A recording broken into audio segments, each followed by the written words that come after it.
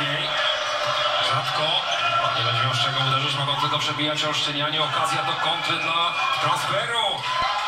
Wraca piłka Justin Duff. Dobrze dograł Kanadyjczyk, ale tu zerwany atak Jurgiewicza. Blok Pottera fantastycznie w asekuracji. Jest.